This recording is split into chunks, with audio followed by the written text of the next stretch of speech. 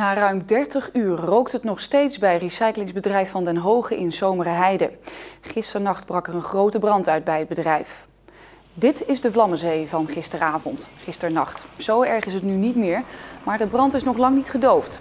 De smeulende puinhoop rookt nog flink. En hoewel het geen gevaar oplevert voor de buurtbewoners, werden zij gisteravond wel bijgepraat over de brand. Volgens velen was het namelijk een kwestie van tijd voordat het dit zou gebeuren. Als de wind de andere kant op had gestaan, waren de gevolgen mogelijk niet te overzien ja, geweest. Ik verder niet over, uh, over speculeren. We zitten nu met de situatie uh, zoals het nu is, hoe de wind is. En uh, dat was mede ook aanleiding voor ons om gisteravond met de buurt in overleg te treden. Van, stel dat de wind gaat veranderen, dan zou je behoorlijk onder de rook komen te liggen. En daar hebben we mensen over geadviseerd. Ja, bij de basisschool in Zomerheide is verslaggever Tony Vossen. Tony, merk jij daar iets van de brand? Nou, hier in Zomerheide merk je er eerlijk gezegd niet zo heel erg veel van. Tenminste niet hier op de basisschool. Maar een stukje verderop in Eind, daar merk je het wel degelijk. Daar zijn ook, is ook echt de roet neergeslagen.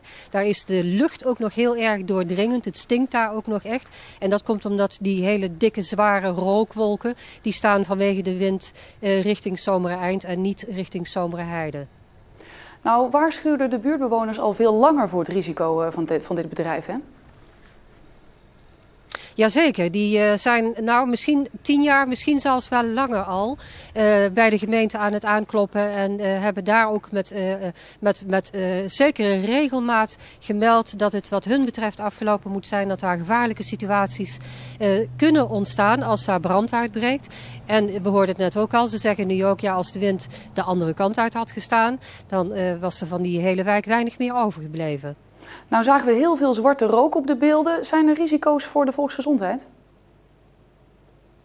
Nee, er zijn metingen verricht en uh, voor zover nu bekend uh, zijn er geen risico's voor de volksgezondheid.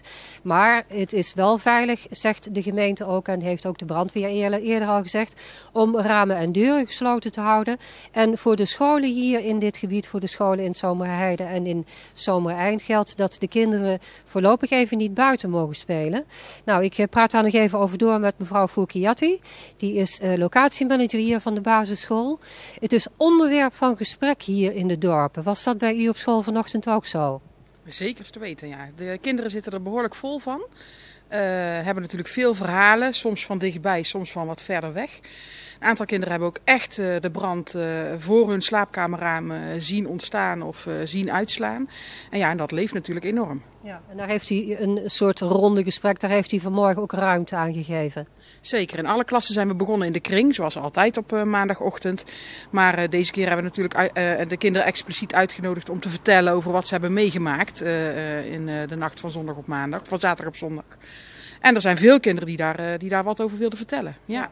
Want vandaag moesten ze binnen blijven. Ze mochten niet buiten spelen. Het, is, het speelkwartiertje was even verplaatst naar de school zelf. Hebben ze daar begrip voor? Zeker hoor, dat is geen enkel probleem. Het is wel vaker zo als het hard regent of slecht weer is dat de kinderen binnen spelen. Uh, en dat was uh, deze keer eigenlijk niet anders, dus dat begrijpen ze wel. Ja. Dankjewel mevrouw Foukiati. Meld ik nog even dat uh, vanavond in Zomera Eind een informatiebijeenkomst gehouden wordt van de gemeente. Daar kunnen bewoners alle vragen stellen die er nog zijn.